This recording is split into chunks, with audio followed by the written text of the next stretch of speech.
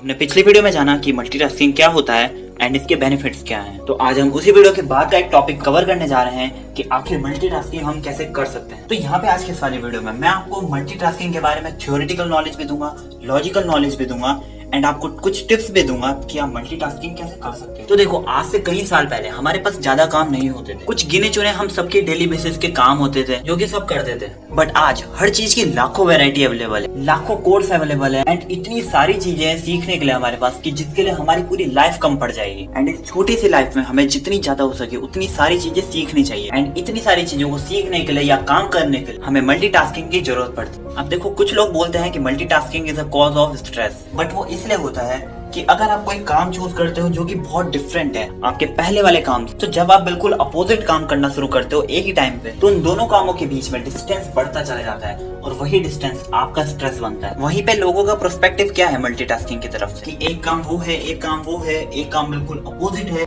एक काम ज़्यादा हार्ड है, एक काम ज़्यादा इजी है तो हम उसको एक टाइम पे कैसे करें? ये है लोगों का माइंड सेट तो सबसे पहले तो आपको थिंकिंग बदलनी पड़ेगी आपको अपने मल्टीटास्किंग के काम करते समय सारे कामों को एक डॉट की तरह लेके चलो। समझो कि वो सारे काम एक ही है। आप जितना ज़्यादा कामों के बीच में इंटीग्रेशन करोगे, उनको सिमिलर समझोगे उतना ज़्यादा आपके लिए इजी होगा मल्टीटास्क करना। वहीं पे आपको मल्टीटास्क करते समय एक काम से दूसरे काम पे स्विच करना आना चाहिए। इवन आपको अपनी हर चीज़ों को एक सिस्टमेटिक ऑर्डर में लेके चलना चाहिए। चाहे वो आपकी हॉबी हो आपका पैशन हो या आपका कोई प्रोफेशनल वर्क हो। एंड जैसा मैंने अभी आपको बताया कि आपको हर चीज़ों को सिमिलर लेके चलना है। आपको अपने डेली बेसिस के जितने काम है उनको अलग अलग मत समझो। लाइक like, अगर आपको सिंगिंग पसंद बट आप स्कूल भी जाते हो या फिर आप कॉलेज जाते हो या फिर आप एक जॉब करते हो जिस वजह से आपको सिंगिंग के लिए टाइम नहीं मिलता तो आप फिर उन दोनों कामों को एक साथ लेके चलो बट इस काम को करने के लिए एक क्रिएटिव माइंड चाहिए। आपको जितना हो सके अपनी लाइफ के सिस्टमेटिक ऑर्डर को समझना होगा। तभी आप एक प्रॉपर मल्टीटास्कर बन सकते हो। तो वैसे तो मैं मल्टीटास्किंग के बारे में आपको बहुत सारी जानकारी देना चाहता था। बट ये वीडियो लंबी होती जा रही है। तो गाइस तो अभी सब कुछ बताना तो पॉसिबल नहीं है। बट अगर आप कमेंट करोगे तो मैं नेक्स्ट वीडियो पे ला तो बस आज की इस वाली वीडियो में इतना ही। मिलते अगली वीडियो में।